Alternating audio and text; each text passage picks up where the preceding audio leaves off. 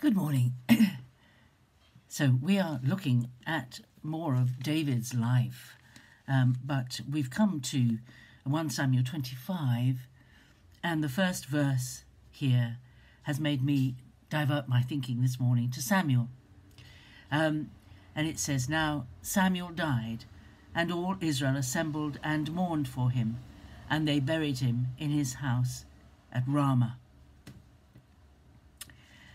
Now, Samuel, we haven't really talked about Samuel. Samuel was the last great uh, judge of Israel, and uh, he bridges the gap between the book of Judges and uh, the period of the kings because he is the one who anoints the first king, Saul.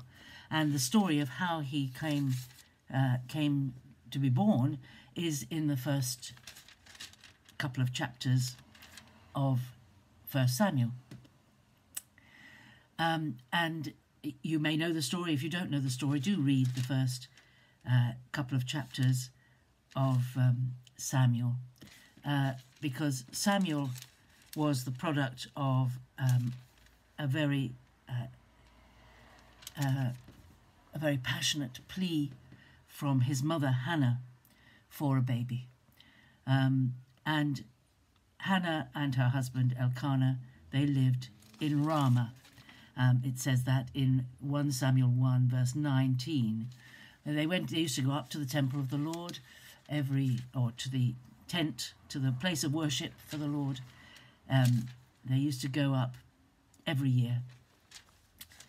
And uh, her rival wife, the the second wife of Elkanah, um, had children and she didn't, and she was teased and belittled as a result. And she, and one day she pleads, uh, and Eli, the the priest at the time, hears her crying, and uh, and, and says, "The Lord grant that you have a child." And she said, "I will lend him to the Lord as long as he lives. He will be lent to the Lord." and I always thought that meant that once the child was was weaned and uh, taken taken to Eli um, at Shiloh, uh, that he never went home and that she lost him forever. She only ever saw him once a year when she brought him new clothing. But um, it does say in chapter 7, uh, when Samuel had grown up and was uh, in Eli's place as judge over Israel, he said, Samuel, it says here in um, uh, 1 Samuel 7 15, Samuel judged Israel all the days of his life. And he went on a circuit year by year to Bethel, Gilgal, and Mizpah, and he judged Israel in all these places. Then he would come back to Ramah, for his home was there, and there also he administered justice to Israel, and he built there an altar to the Lord. so he was an itinerant judge um, and uh, sort of um, magistrate, I suppose, and we might call it. But he had as his home base Ramah, which is where his parents lived. And therefore, although Hannah promised Samuel to the Lord, and indeed Samuel served the Lord all his life, he based his adult ministry in Ramah so he lived where his pe- where his family lived.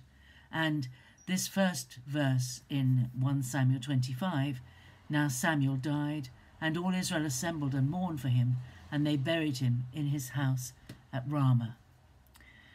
And I find that a wonderful thing, you know, that sometimes um, we make promises that perhaps when we think about them in hindsight are a bit rash. You know, she promised this child to the Lord. She had no certainty she'd have any other children. She did have some more children, but uh, there was no certainty of that. She'd been barren and not been able to conceive. But she promised this first child to the Lord. And there was no guarantee that she would ever see him uh, except once a year when she went up, as when he was growing up. But in fact, he made his home in his base in the town where his family lived. So there's a sense in which the Lord gave Samuel back to his family.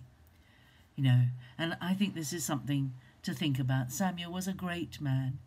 Um, he doesn't really get acclaimed as much as he should be because the focus is on Saul and David and all those events and Jonathan that, that are recorded in the books of Samuel. But there's not a mistake that the two books of Samuel are called Samuel because Samuel was an important figure. So I'll leave you with that thought for the day, and God bless you. Bye bye.